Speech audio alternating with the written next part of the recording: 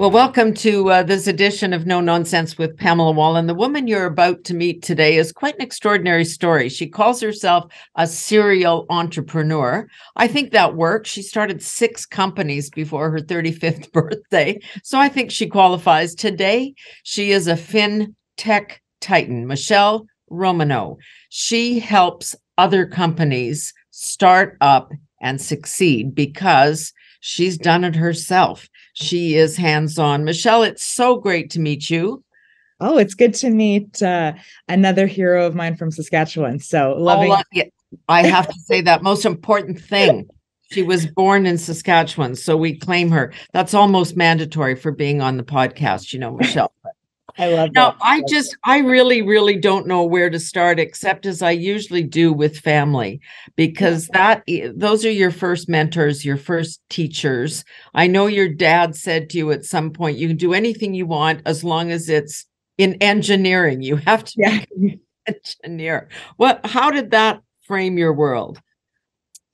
Yeah. I mean, my, um, like, look, I feel like I have very deep Saskatchewan roots. Uh, my, um, my dad grew in Kenora with with very little. I mean, his mother had a grade eight education. His father was the town janitor, and they grew up in a two bedroom farmhouse without a bathroom. And he was lucky enough that a high school physics teacher told him that he was pretty good at physics, and he ended up at the University of Saskatchewan studying engineering, where he met my mother, who was a immigrant from Czechoslovakia, had left the country.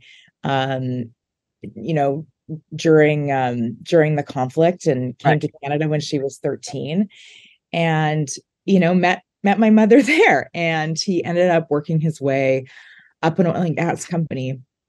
And they just there was constant hard work in my house. I think one of the things that's very difficult to appreciate unless you're from a place with a lot of farmers is like you know, the animals don't care, right? They don't care if you're sick, they don't care if you're tired. You have to wake up every single morning at those animals or they will perish. And there is this work ethic that comes around that that was irreplaceable and it's been a huge part. I mean, I still um clock in way too many hours yeah um, and so it was a huge part of my work ethic that that was really brought to me by my parents and, and growing up in Saskatchewan. And uh, yeah, my my dad was very much into sciences. I was the first um, girl of three girls, and then he finally got his boy at the end. And so I was never taught that there were girl tasks and boy tasks. There was just work to be done. So I knew how to mow the lawn and shovel the driveway and change tires and do all the things that I would call probably more stereotypical male um, tasks. So you know i think it was uh it was a wonderful upbringing and it gave me a ton of perspective and uh, work ethic. Yeah i i'm grateful for it too because very similar. When you grow up i was saying this to somebody the other day we didn't know we were poor because everybody else was in the same boat. Like it wasn't until i left home that i thought whoa we we really didn't have much but we, right. it didn't feel that way. It didn't yeah. feel that way at at all and you do learn that work ethic and you uh, because you've said on other occasions too that you know it's easy to go and become a, a big time tech titan you know you're the fintech titan um, if you went to harvard or yale or if your parents are really rich because having access to money means you have more access to money but when yeah. you're making it yourself uh, that work ethic is maybe more important yeah i think that that was um, you know, one of the things, Pamela, that I saw when I joined Dragon's Den on my first season, I, yeah. um, you know, I was I was lucky. I was 28 years old when they asked me to join the show. I thought they got the wrong person when they asked me to audition. but I showed up to the audition being like, well, I, I have to give this a try. And I joined the cast and I was like, I am on a on a relative basis the the poorest person here and the youngest person here and i think felt a pretty deep sense of insecurity about that. But when I see the pictures in front of me, I am still that sure. I am still very much an entrepreneur. I that is my that is my how I identify. And so, you know, I I saw these pitches very different. I saw everyone coming on the show. A lot of them were building e-commerce companies and they were saying, "Look, I am willing to give up up, you know, 10% of my company for my first $100,000.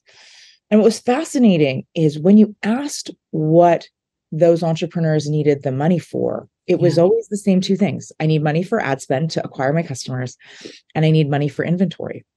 And I was just like, why are people selling a piece of their company? Yeah. Why are you giving this never away? gonna get back Yeah. for something that has a fixed return, right? You buy inventory for a dollar, you can sell it for four. You can't sell it for a hundred, right? Right. Uh, you you invest money in Facebook ads, you inject a dollar, you get four dollars in revenue out. Like these are fixed return activities that can actually be really measured very well. So on the show, I remember saying, look, I'm going to just throw out a different deal type. I'm going to give you that $100,000 you're looking for. Instead of taking 10% of your business that I would own forever, I just want 10% of your revenue until you pay me back my capital plus 6%. Um, and founders are like, oh, that that sounds like a loan. And I was like, no, a loan would have a personal guarantee. So Yeah. if you didn't pay me back, I would take both your business and your house. Very, very punitive. It would have compounding interest. It would have a fixed repayment timeline. This is like, you know, you grow with me and I get paid back a little bit faster and your business slows down. I'll I'll be alongside you for the journey. And if your business fails, that's my risk. And the founder that day is like, huh. So this is like a different type of revenue share deal. I'm like, yeah, it's like a, a royalty deal, but it ends when I get paid back my money plus 6%. Like it doesn't go on for years and years and years. So the founder that day um, took the deal. I built that into Clearco, which has now invested more than $5 billion in more than 10,000 founders in 13 countries around the world. And the only way we could do that is by using um, data science and AI. So, you know, people plug in the, the data that runs their business and, you know, we evaluate their data, not, not what they look like, not where they went Yeah. to school, not who they knew, not how good their pitch is. And you know that's that's what i was saying when you mentioned my earlier comment right today capital is allocated largely by people who know capital and that's okay because capital is a human to human business most often. It's a Yep. i trust you. I know you. You're part of my circle. And there's a human element to it. But pamela that's not what i know about entrepreneurs. The best entrepreneurs did not grow up with silver spoons in their mouth and they did not grow up in easy environments. They learned resilience at an incredibly young age. They have figured out a business that works very well in often a space that was overlooked by people because it wasn't conventional. And so, you know, I knew that there were all these founders out there that were underfunded that had great businesses. I had no idea of the scale of that. And what was even shocking to me is you look back at our portfolio today, it looks very different. Um, it looks very different. I mean, half of our portfolio is women. Yeah, Uh, that was the other thing that because you're not sitting there saying, okay, how's your pitch and how are you're dressed and, and where did your parents come from and who do you know? Yeah. You're actually basing it on on their numbers. Are they successful? Have they thought this through? Yeah. And it's kind of you take the subjective stuff out. And and it turns out that actually a lot of women fall into that category. Yeah, it's crazy. I mean, half of our portfolio is women, a third of our portfolio is BIPOC. A Yeah. quarter of our founders didn't go to university or a form of post-secondary education. This is Yeah. a this is a group that is hugely overlooked because it's seen as like they couldn't possibly build a business. That's not true. Yeah. Um, and so when you look at data, I think magical things can really happen, um, and you can see how large uh, some of these biases are. But you know, I think that's our opportunity, right? I think Yeah. there are so many great businesses out there that have been overlooked by the system. Is it actually fair to say, because this whole model, like lots of businesses, you know, you go to banks and they look at you and say, absolutely not. Like, you know, uh, or we're if you sign up your house and your firstborn, we'll give you money. But you know, short of that, uh, you can't. So there's a huge demand. Did did you act? Were you thinking about this before you did the pitch on on Dragon's Den to that the one founder that needed a hundred thousand? Did it just all come together for you at that moment, or did you have Clearco, this company, to approach financing in this different way already in your brain? process of company creation, Pamela, is incredibly messy. And founders do a huge disservice when they only tell a part of Right. that story. So, I mean, there was this this came together over years not days or months and there is no eureka moments when you're a founder right. you can tell right. you know about a couple meaningful stories but you know i had sold a company to groupon in 2014 i think i was looking at you know social media had just fully disrupted media companies i thought the next very big phase of disruption would be the banking sector and all of these fintech companies because banks were not going to keep up with where customer demand was um, we started clearco in 2015 with the goal to help you know, really the freelancer economy, built a product for Uber drivers that didn't quite work, built a product for Airbnb hosts, was also on Dragon's Den, saw the steal at the time, was running this experiment on e-commerce, finally get to this point where, you know, we have this meeting and um, we're like, we think we should pivot the whole company to this e-commerce product we've created and our board's like oh we're not sure you know you you never know but i i remember trusting in my own data being like no i think this is really the path and that became an absolutely critical juncture but there isn't it's a really good question because I think sometimes when people want to become founders, they're looking for like one eureka moment where yeah. they like yeah. knew that something was going to happen. I it doesn't exist. You're never going to know. You're going to be getting slightly better and better data. You're going to get conflicting data on top of that.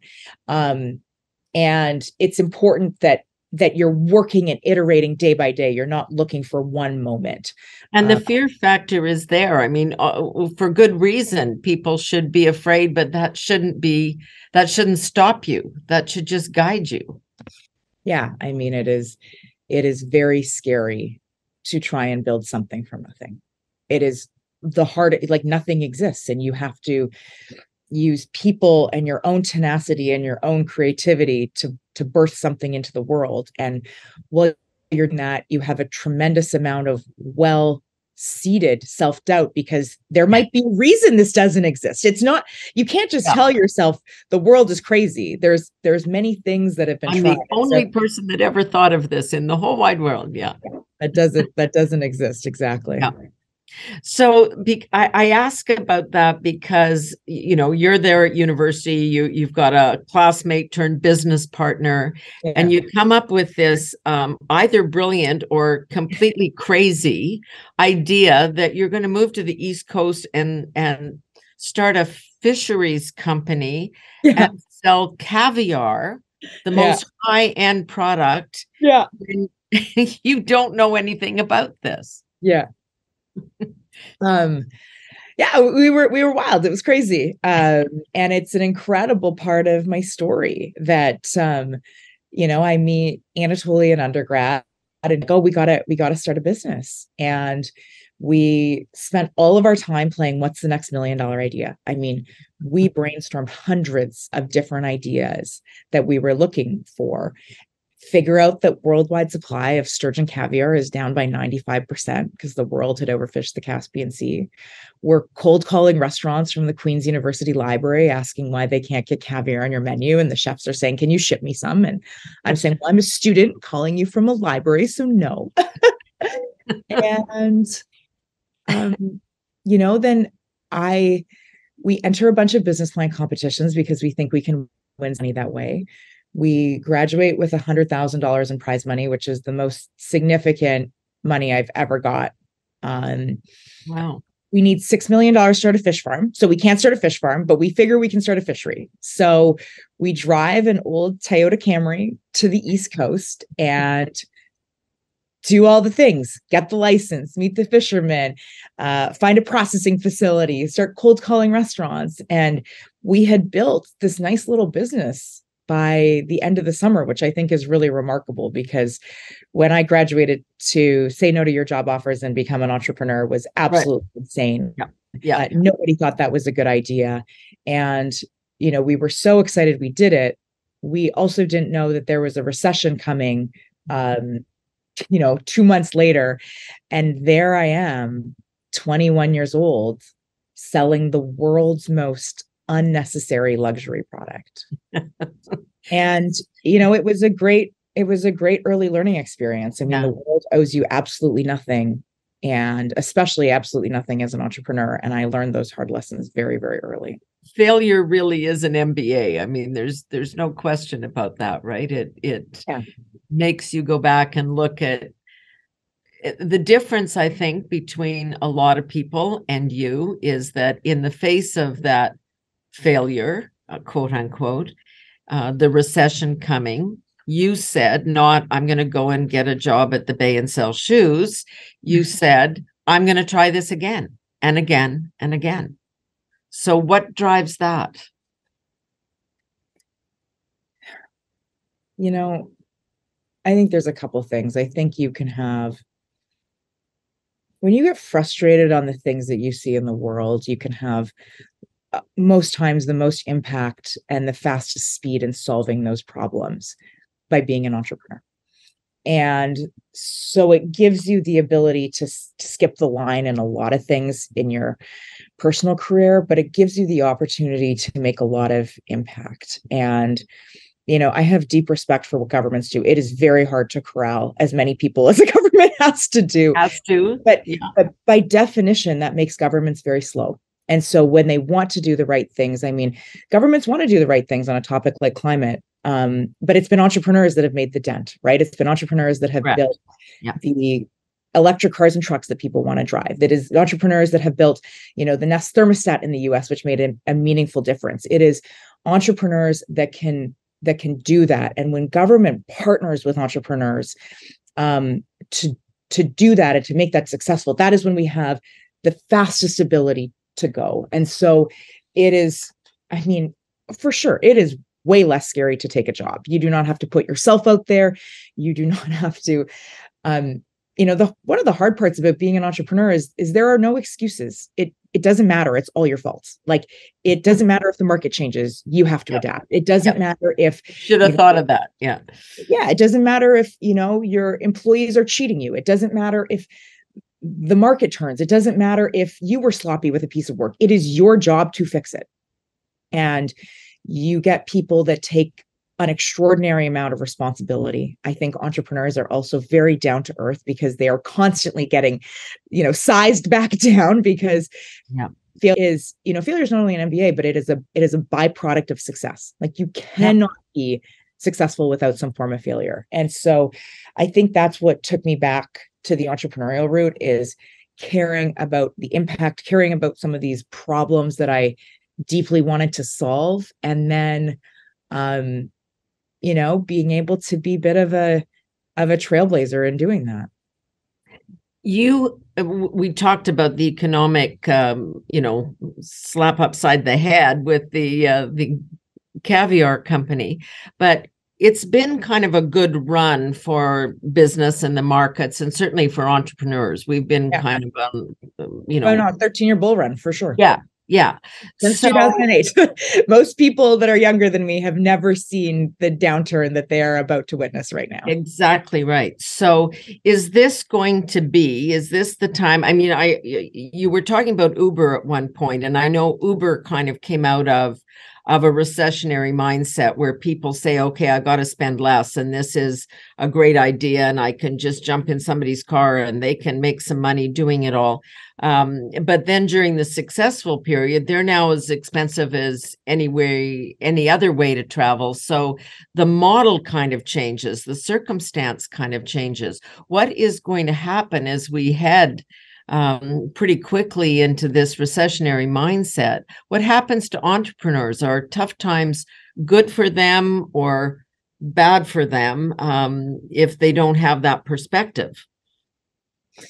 yeah i think everyone um, is certainly capable on how to how to learn and managing through this you know you had a you had a very good example and i want to dive a little bit deeper yeah. into that so what happens during recessions is that consumers are far more willing to change their behavior than ever before because people are looking to save money more than ever before. So in you know an inflationary bull market people are going to be like oh i'll just i'll just take a cab. Why would i jump into a stranger's car? Or i'll just stay at a hotel. Why would i stay in someone else's apartment for less and hop in an airbnb?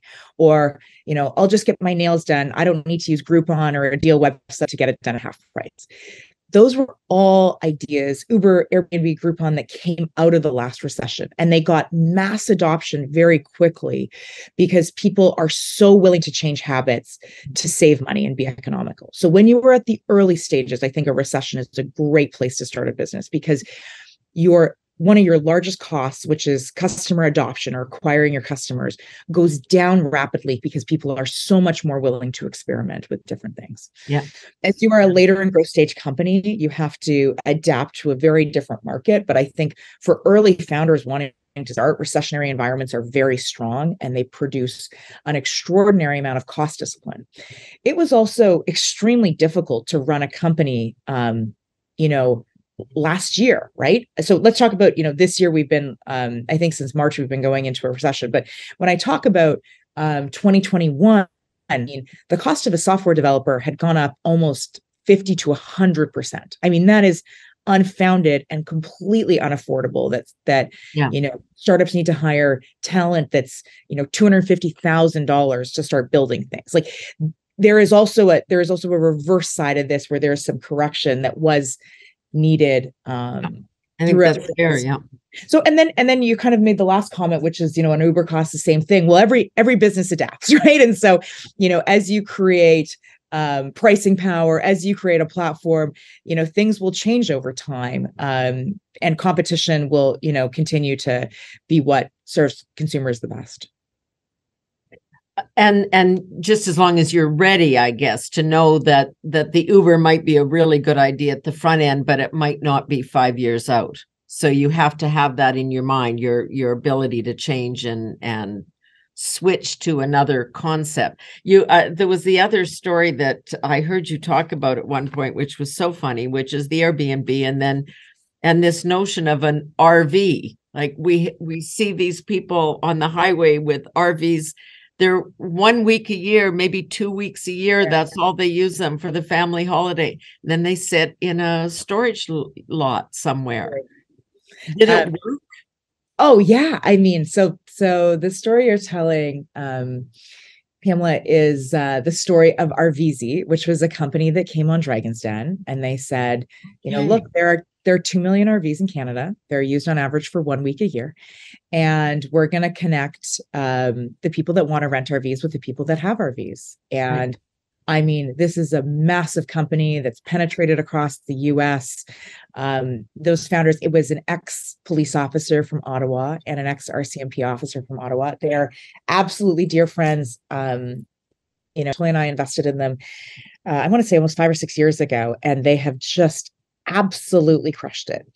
Um, and look, every business goes through its ups and downs, even with excellent ideas and you know an excellent strong management team. This has not been a walk in a park. I mean i remember when covid first happened they called me in you know the first four weeks and they're like Michele we're getting refunds through the roof because what happens is when you book you pay up front and yeah. as people started to refund it became you know effectively what felt like a run on the bank and you know we're figuring out what we can do in terms of emergency capital injection. We're we're just trying all the things and you know wait this out for 4 weeks. And now 8 weeks into covid people have figured out they might not be getting on an airplane this year but they right. are certainly getting in an RV and going on some sort of trip even if it's driving. And then so yeah. sales went back up through the roof. They had the single best year on record. And so i unless you've been an entrepreneur, I cannot quantify what it feels like to to go through those ups and downs. Like it's just it is an unbelievable daily roller coaster. And you have to live it to know it. I mean, it, it's not the kind of thing they can teach you yeah. uh, in a classroom. No, I, I actually think teaching entrepreneurship in a classroom is like entirely stupid to begin with. I think you know, if you want to learn how to you want to learn how to be an entrepreneur go sell candles on the side of the street. Like yeah. go go knock on doors go figure out what product market fit is. Like these are these are intellectual concepts that literally make no sense until you actually do them yourself. Well we're all watching this and i i know you i don't know how involved you are in the whole crypto uh, world. But you know, you watch an FTX, this guy's uh, you know hero turned bum in 24 hours. But lots of people, like Madoff, have lost everything. Um, how do you? What does your gut tell you about that? How how do you know the difference between somebody who is doing the right thing and somebody who's a fraudster? Um, this is this has been a huge crash. Yeah, I mean the FTX story is absolutely insane. Like I have yeah. no words um, for for what was happening, and um, you know it's it's really hard to see stuff like that. Um, but at the same time like there is there's been no point in the course of history where we haven't had some people that have tried to take advantage of some things that are happening yeah and i think yeah. what we have seen time and time again is um you know that the good triumphs the evil on this stuff. And there are you know this is going to have i'm not i'm not super involved in in the crypto space at all but you yeah. know there's there's a lot of good in that space. And there's been a lot of no absolutely. really important things yeah. built in that. And so you know of course you're going to have a couple of bad apples. And i mean how do you vet that? I i think you you do your very best. And sometimes you trust your gut instincts and sometimes you look for things and frankly sometimes you have situations where i think you know things get out of people's control and they didn't fully intend for it to be like that right. yeah. um there is when when you get a scandal that this, this wasn't one person and one mastermind that did this this was you know a variety of factors. And that's um not me being sympathetic that's just the reality of of when you you get a big story like this. But i think uh, like I mean, it's it is a it is a crazy story, uh, no doubt. So everybody that's involved has to take some responsibility. I mean, if if you want to if you want to make a quick buck and you think this is the the shortest route to being a gazillionaire, um, there's risk in that. Totally, totally, and um, and as an entrepreneur, you have to be really careful on managing your team and making sure that there's also nothing happening within your own company. Um, right that uh, that can be problematic. I mean, it's the same thing for governments, right? We can talk about yeah, a government scandal. We can talk about, you know, I think for the most part, these are very well-intentioned people where things go wrong on the fringes, and um, and you know, doing our best to to try and um, help that is important. But your gut has to be strong, as you say. Like you like data, you like the numbers, but if somebody is going to be um, your face or your voice uh, as you build out a company or help somebody else, you've got to also just trust them implicitly. Oh, for sure. For yeah. sure. There is, um, and data is really unique at the early stages of a company because you can, I mean, look, I, you you you know after you work at mckinsey you realize you can cut data in any way you want yep. right? You, there is a way to say i would like, like polls and politics yeah. Exactly it's like polls and politics. I would like yeah. this narrative. Show me data that supports this narrative. Right. And so i call it um i call it internally like sober data like intellectually honest naked data um because i'm like guys we can we can pitch ourselves but that doesn't make us successful. Like, let's be really honest with our own data. Are we taking actually the least attractive approach? And do we think we can be successful if really not everything we think could go well could go well? Like, mm-hmm. how hard are you having to squint to believe the story? Is really what. don't drink your own Kool Aid. Yeah. don't drink your own Kool Aid. It's it's, yeah. it's very very true. And founders do do this. We're pitching all the time. We're trying to build something that doesn't exist. We're getting excited. We're doing all yep. those things. But when we look at our own data, it has to be sober. Yep. Are the unit economics working? Do I have a cost structure that's too big? Do people really like this? Or is the cost of acquiring this consumer just astronomical relative to the value that they're bringing me? And you need to do this constantly with your team. You need to do a lot of things to make people feel good about bringing forward data that they believe in that might not always be the most attractive. Um, but then you can get real innovation. I mean, you need honesty to be able to do this. Yeah, I think you put it one way, which is there's there's no elevator. Like you got to you got to take the stairs. I yeah. love that phrase yeah i mean that's that that was uh, someone asked me about yeah success. I'm like there is there is no elevator. This is you have to take the stairs. I i there is no shortcuts in building stuff. And occasionally one in every 20 times you will get an idea at the right time at the right place that grows a lot faster than something else but it's still not easy. Like mm. being an entrepreneur in a bull run market for the last 13 years was not easy. And then i woke up at the beginning of this year and it got 10 times harder because now we're dealing with you know market collapses and other problems and, and you've got to lay off people and you've got to, to alter people, and we have to do all of those things right? Your job as an entrepreneur is to adapt and that's what makes it very hard because you know we were at a growth at all cost market. We were you know saying we're going to expand into all these countries. That that just didn't make sense um, in a new economic climate. So about how you live and how you manage this because i think the word that everybody uses to describe you is relentless mm-hmm. and and and you can work 24 7 um, when i started my own company that's what i did i ate it i slept it i breathed it i i, totally. I did it all and you have to if it's going to be successful. The bottom line is you know you got to bring in more money than goes out the door. So it's it's pretty simple on one level but so how do you balance that? Uh, how do you you know is there such a thing in michele's life as work life balance or is that just silly? Um i think there's a couple of frameworks that i use for balance. So yeah. the first framework for balance is balance is important to me over a year not over a day. so I I wrap it like, but I I'm really, gonna borrow that one. Okay, can I borrow? You should. you should because you know as well as I do. Has anything yeah. magical gotten done without sprinting? Like a giant piece of legislation, a huge product launch. You are sprinting. You are getting everyone on board. You are working so hard. You are turning documents at midnight. You're doing whatever it takes to get something over the finish line. You don't get to say, Oh, I didn't get my eight hours of sleep tonight and I didn't get enough time to meditate those days. It's like, I'm getting something really big and really hard done. And it is going to require my full focused effort to do that but you cannot sprint all the time. That it is just a disaster. Um, and so you have to realize, okay, I've finished this project. Now it's time for me to sleep, for me to go to the dentist, for me to do the things right. that I I need to do to remain a really functional human. And so I try and look at a year and been like, this year, did I get enough time to travel? Did I get enough time to see my family? Did I get enough time to work on, you know, creative projects that are outside of my day-to-day work?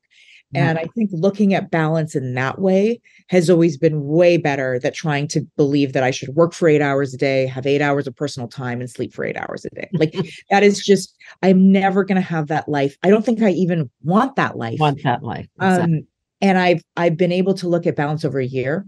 Um, I will confess the only thing uh, that that doesn't work with this philosophy is is working out. You can't just start mm-hmm. exercising on December 23rd and not run and run until, you know, literally run marathons until December 31st and hope your body's going to do that. You do need to yeah. figure out how to fit some of that in because um, you know, I, I heard a great framework recently, which is that, you know, we have made diet and exercise in our culture so much a part of looking good yeah. And it becomes very easy to be resentful because you're like, well, I shouldn't give, you know, I, I shouldn't care about what people think about that, which is true. Um, but you should care about diet and exercise because it's 85% of your mental health. Yeah. And you being you. Yep. a functional, happy, you know, human being is you getting outside, seeing sunlight, having some level of physical activity. And I think we have, and eating healthy things, right? Like we've completely lost that narrative in the narrative to look good. And so I love that framing. I'm like, Michele, you're not here to be another five pounds skinnier. You're here yeah. because it's it's really good for your brain. And I think if we frame that as a society, we'd do way better. But um, and then finally the last piece about balance is it it does not feel like work when you work with people you love and mm-hmm. you spend hours in the office and hours brainstorming and it's hard to define if you're just you know yeah. shooting shit and having fun or if you're yeah. solving no, i think that's do something you love and then it's how do you balance the other stuff or how do you fit in maybe i'll put it that way like you need news and information if you're going to be sparking ideas and seeing what trends are um, but how do you control the intake? Because that too is relentless. That flow of information over us all the time. Do you do you limit your time on social media? Do you watch news once a day once a week? Like how do you keep the input there but yeah. let it not overtake? So i mean my honest answer is i don't I don't have a full strategy for this, but I do go through phases. I go through phases yeah. where I'm like I'm spending way too much time on my phone. I'm spending way too much time on social media. I find my team does a really good job of like telling me, you know, what kind of news I need to pay attention to. And then like everyone yeah. else, you find you find these stories that you get enthralled in because you just kind of can't um believe them. And so I think you can do a decent job curating your feeds to constantly be like is this positive and is this helpful? Um and um you know i love this line that you're the average of the closest five people in your life. And really looking at those five people and being like is this bringing out um, the best or the worst in me? But yeah i've gone through all those phases. I've gone through phases where i you know will log out of instagram. I will look at social media platforms because I just need to focus. I go through phases where I think um, the news can be incredibly untrustworthy and eh, you know we're we're painting a single narrative versus looking at yep. nuance. And you know one of my hopes for society is that we can get a little bit better at being right and then being wrong right? I think that covid was a perfect example of every month we were getting new data and we needed to reevaluate things on new data and we governments became you know i have chosen the this path or the this path you know the right. sweden path or the lockdown path and instead of every month saying well i got new information i got to make a new decision we were saying and and and the public does this to politicians the public says well you flip-flop and and yeah. they make it terrible and they make you seem like a hypocrite well that's not true because as an entrepreneur and as any person you have to make the best decision with the data you have to begin with. And so yeah. it would be, I think that that would be probably the most important part of of the news cycle and changing people's minds and having people have an open mind is that we should be allowed to change our minds when we get new information. Yeah. I, have said that for a very long time about how journalists cover politicians. We yeah. should, in theory, if somebody has read something new and thought a, a new thought, we should reward them for that, not punish them for that. But we say, you know, oh, you did a 180, you know, oh, you've changed your mind, oh, you can't be trusted. And and that's what happened in COVID too. It all became politicized. If you were if you believe this then that was you were part of that ideological team and yeah. and that's not helpful to anybody because we were all struggling trying to figure out what the hell to do especially exactly you know kids or if you should yeah. get on a plane and try and make a business deal no it's really um and then you've got the these other added things of uh of being a celebrity which yeah. probably hadn't really planned on. Uh, but the television side does that uh, to you, and and that's a, a great thing because you get feedback. It's nice. People stop you in airports and say, you know, hey, well, you know what this is like. You're a celebrity too. Yeah, it, you you get that, but there's a downside because everything is public, and you sometimes you just need that thought process. Sometimes you need to sit on the plane and be quiet, and then everybody goes, "Ah, she's rude. Oh, she's a snob." You know, you're you're trying to balance that too. Totally, totally. Um, yeah, a celebrity status is a true double-edged sword. Yeah. And before you do this, you have to think really carefully about what you want do you want to be powerful do you want to be rich do you want to be famous or you want to be all three but um there are and i mean you've seen it there are very significant downsides oh she's not friendly and she's a snob and she's not yep. you know hugging my kid and like it's like it's sometimes um you just need a, a moment to yourself mm-hmm. and so mm-hmm. I think, I think in general um my experience with being a celebrity has been uh net positive, I would say. Like yeah. there, I think people I've gotten to share and inspire a lot of people to become entrepreneurs, which I think is a really important to the fabric of a strong society. If you look at all of our all of the strongest countries, mm-hmm. they have very, very strong um, entrepreneurial environments, and they are have entrepreneurs that are not scared to fail. They have entrepreneurs that are relentless, uh, relentless, not resentless. Yeah.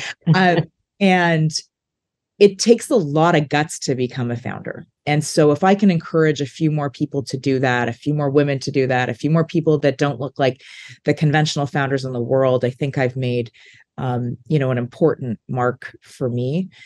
And I think um I also have not never inflated my own self-ego. Like I'm a kid from Saskatchewan at the yep. end of the day. And all of this has blown my wildest expectations for what I thought my life would be. Mm. Um, and I have gotten to be a part of things and see things and build things that I, you know, I I remember thinking if I ran a company with two people in Regina, like that would be great. and so this is all kind of above um what I thought was possible. I have not lost months of self and my family and i don't think i deserve any of this i also think that this could all be taken away from you right there is lots of stories where um, there's declines of businesses and and people right. you, trends you never, change trends right. change and you never know exactly yeah. what's going to happen and so i think remaining um humble and helpful is is pretty important throughout that period of time. And family and your community teaches you that too like you know when that's important to have that balance that we keep coming back. Yeah you're you, are famous and you're a celebrity and you've done all this but you're still just my daughter or you're still just my friend right? The person i've known since since grade school and and so no fluff. You have to be careful about who's in your life though too don't you in terms of not surrounding yourself with negative people or you know like it, it sounds kind of um uh, a difficult thing you have to do but sometimes you have to cull people out of your life that are holding you back.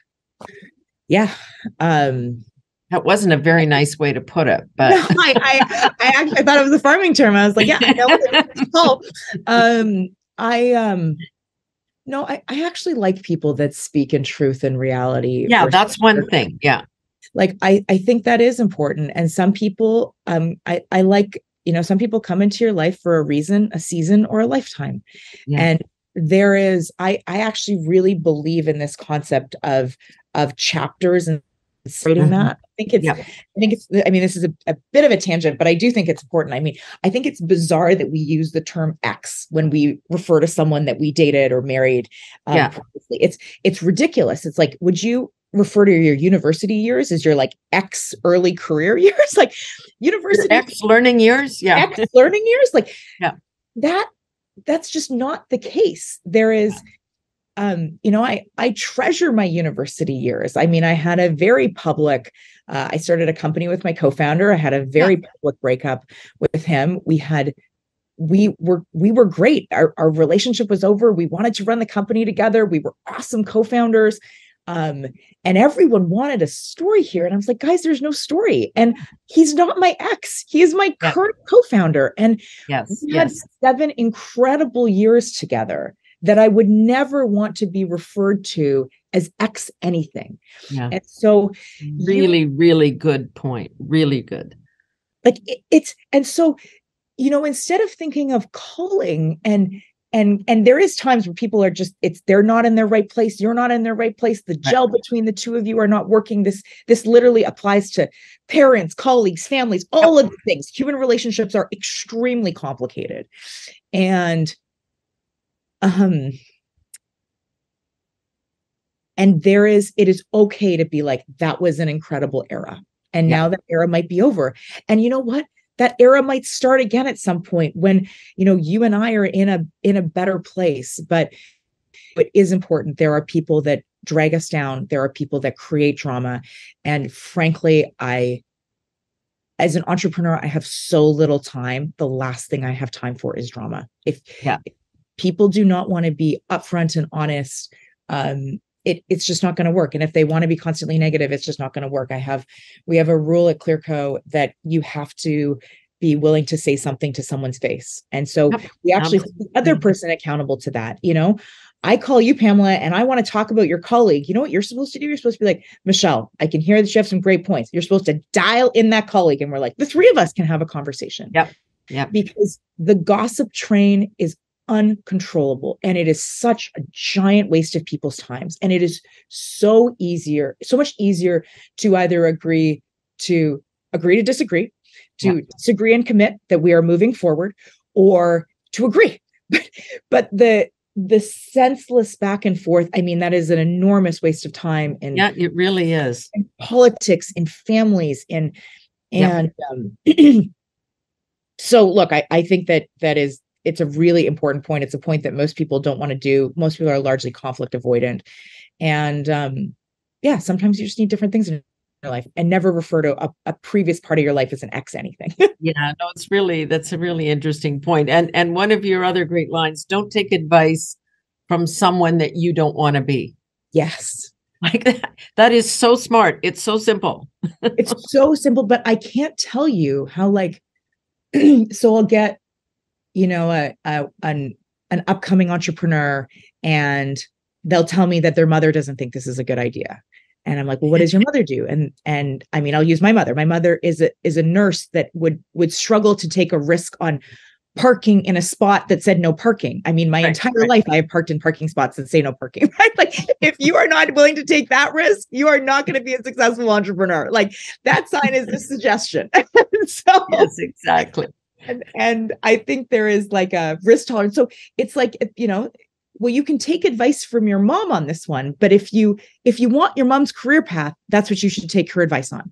Exactly. but if you don't want that career advice you should take advice from another entrepreneur. And so we also do this thing where um, many humans do this thing where they ask a lot of people for advice. And i'm also uh, very anti that because i think it's a it's a giant waste of time. And i think you're going to get five contradictory answers. And so you are no you are actually more confused.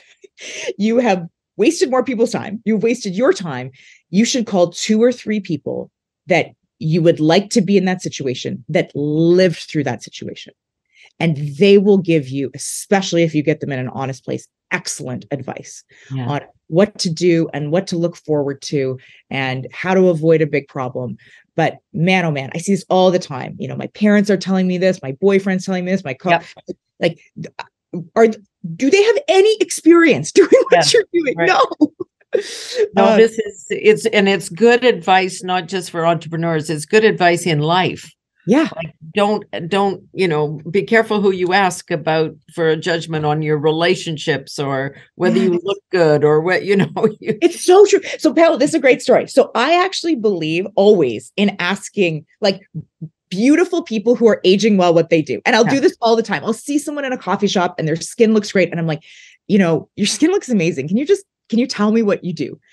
And because i don't trust the internet to tell me any of those things accurately any of them because they're all trying to sell you something. That woman in a coffee shop that doesn't know who I am, that doesn't know I'm a celebrity, they have no idea. And I have heard the craziest things. I have heard I wash my face with antibacterial soap and I just use witch hazel. I have a I have a six cent skincare routine. like, but this is what I mean. You you ask people or the person that has been in what you believe is a really successful 30-year relationship, they right. should be giving you relationship advice, not exactly right. the people who have a joint interest in dating you or your parents that have a vision for what they want you to be and it it's so so so true um it's so true well, I'm glad that I asked you for a little advice about a lot of things today. It is just wonderful to have this conversation with you. You're smart, you're funny, you're successful, you're from Saskatchewan. What else matters? I mean, really. Oh, well, thank you. I mean, this was this was delightful. We got through a lot of yeah, um, also I think, think very unconventional topics and I think Canada needs more Saskatchewan. I think the yeah. world needs more Saskatchewan. This is one of the hardest working place of incredibly down to earth people that are exceptional builders. And so, you know, if folks are listening to the podcast from Saskatchewan, like there is no better time to build. It doesn't matter that we're in a recession. Uh, you don't need a lot of money. You need a lot of grit, which I think the folks from Saskatchewan are genuinely born with. And I would love to see, you know, more and more startups from there. So great. Michele Romanow, fintech titan. Don't you love that title? You know her from Dragon's Den. Uh, she is an entrepreneur in her heart and soul. and uh, really good advice for people. What we all need to be thinking about because there's some tough times ahead for uh, Sure. for all of us. So this is good. Michele, all the very best. Let's hope 23 gets to be a better year. I hope so. so This has been one hell of a year, and I'm sure it's been one hell of a year for you too. It's Yeah, it it really has, I think, for everybody. So you take care. Have a have a good. Take a little break. Take a little you. break. Go see some family. I'm gonna try to for sure. Yeah. All right. I hope we talk again soon. Yeah. Okay. It was so lovely to meet you. Thank you for Yeah. doing this. Mackenzie and Paul, thank you as well for for getting this done and being very flexible with timing. I really appreciate Yeah. this. I know we had to move this a couple times. So Busy people get stuff done. busy get stuff done and they just figure out that slot. And uh, okay, we'll talk soon. Bye bye. That's it for this edition of No Nonsense with Pamela Wallin. We'll talk soon.